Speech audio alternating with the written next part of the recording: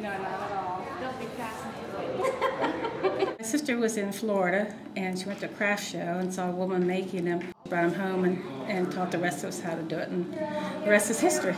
Landfills filling up with plastic bags, and because they're not biodegradable, and all they're doing is creating a mess.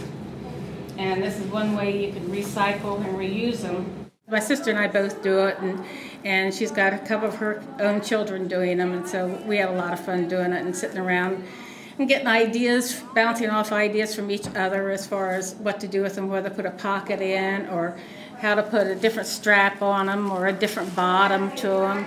The recycled part is a big part, but also the fact that they are extremely sturdy and you can wash them uh, just in the sink in the kitchen in warm sudsy water, rinse them out, and, and they dry up beautifully.